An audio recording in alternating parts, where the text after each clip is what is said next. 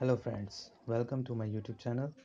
Today I am going to tell you about a good medicine for H1N1 virus called also swine flu and this medicine called anti-flu oseltamivir oral suspension IPF 12 mg as this mentioned 12 mg it is it is used for recommended for usage from doctor.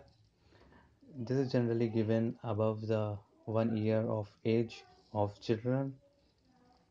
It is recommended to the age of children is one year plus age as your doctor suggest you please i am recommend i am don't not recommended this medicine until you recommend until you go from for doctor and uh, give they give for this recommendation.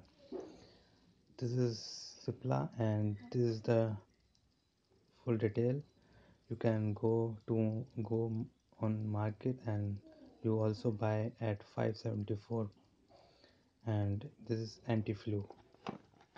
You can see 12 mg and how mm, this is easy step for use of this syrup. First second third you can see. This is the easiest step is given in this manual in back of the medicine.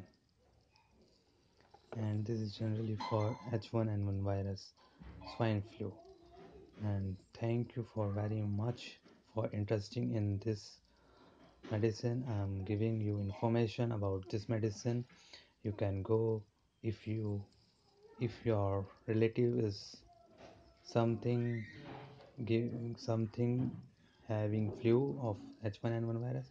So you can buy this medicine for children only. Thank you for interesting. Thank you